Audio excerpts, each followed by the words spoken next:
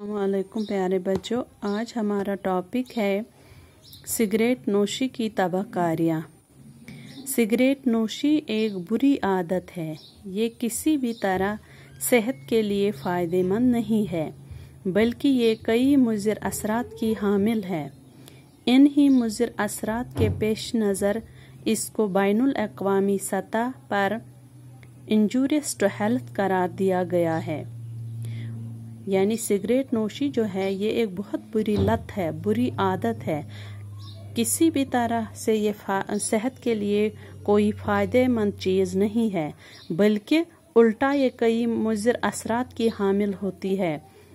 इन्हीं मुजर असरात के पेश नज़र इसको बैन अवी सतह पर इंजूरियस टू हेल्थ करार दिया गया है। यानी इसको तमाम ममालिक ने इंजूरियस टू हेल्थ यानी सेहत के लिए खतरनाक करार दिया गया है और सिगरेट के हर पैकेट पर ये जुमला दर्ज होता है। कुछ साल पहले इस जुमले में तब्दीली गई, लाई गई। यानी अब हर एक सिगरेट के पैकेट पर यह लिखा होता है smoking is injurious to health कुछ साल पहले इस जुमले में भी तब्दीली अब लाई गई। अब हर सिगरेट पैकेट पर यह इबारत दर्ज होती है सिगरेट से कैंसर होता है।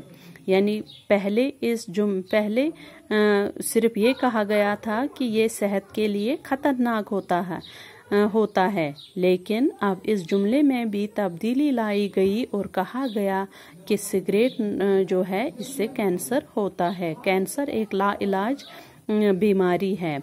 सरकार ने अवामी जगहों पर सिगरेट के इस्तेमाल पर पाबंदी लगाई है।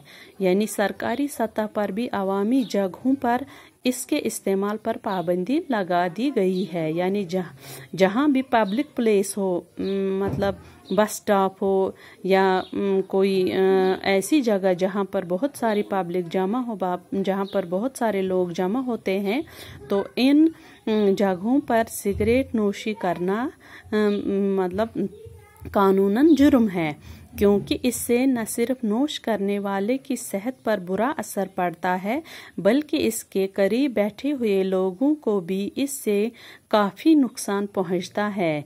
यानी ये जो सिगरेट नोशी है, सिर्फ़ नोश करने वाला मीनस पीने वाला, यानी सिर्फ़ पीने वाले की सेहत पर इस पर बुरा असर नहीं पड़ता, बल्कि जो इसके करीब बैठे हुए लोग होते हैं, इस सिगरेट नोशी जो करने वाला होता है इसकी सेहत पर भी बुरा असर पड़ता है। सिगरेट नोशी का शुमार फजूल खर्ची में होता है। चूँकि ये किसी सिगरेट नोशी का शुमार किसी अच्छी चीज़ के लिए नहीं होता है तो इसका शुमार फजूल खर्ची में होता है। क्योंकि जिस चीज़ के, जिस चीज़ चीज़ के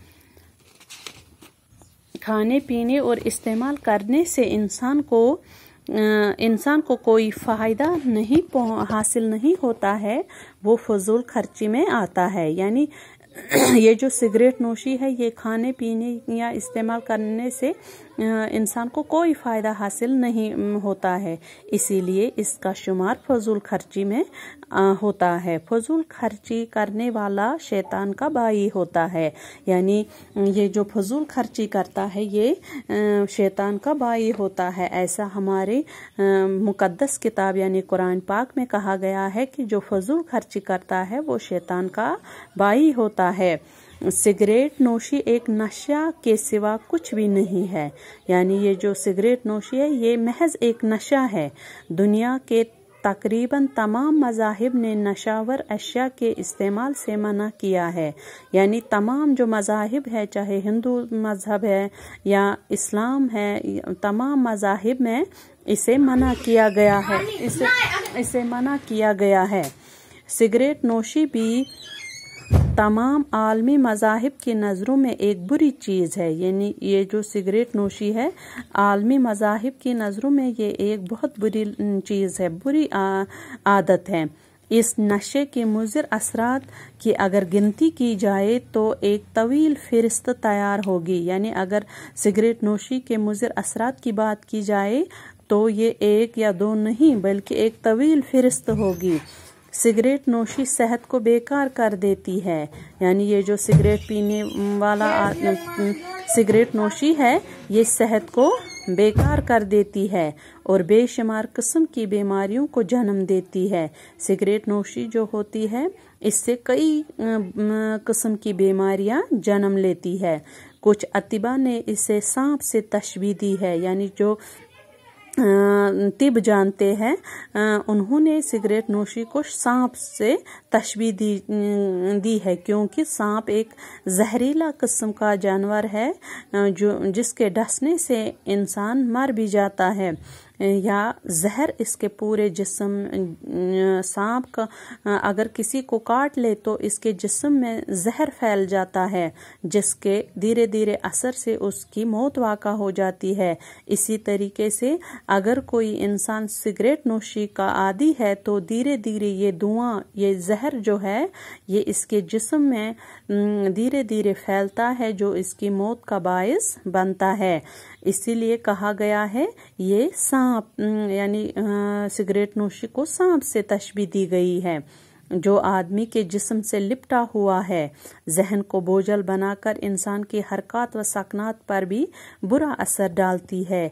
इसीलिए बैज़ उलमा ने हुक्का को मकरू करार दिया है और बैज़ ने हराम भी, यानी इस सिगरेट नोशी को सांप से तशबी दी गई है, जो आदमी के जिस्म से लिपटा हुआ होता है। ये जहन को बोझल कर देता है और इन, इसके हरकत सकनात पर भी बुरा असर डालती है। इसीलिए मुख्तलिफ़ मजाहब के उलमा ने उसको, हुक्के को मकरू करार दिया और बैज़ उलमा ने उसे हराम भी करार दिया है। आज के लिए इतना ही। तो इनशाला हम कल इसका दूसरा पार्ट पढ़ेंगे।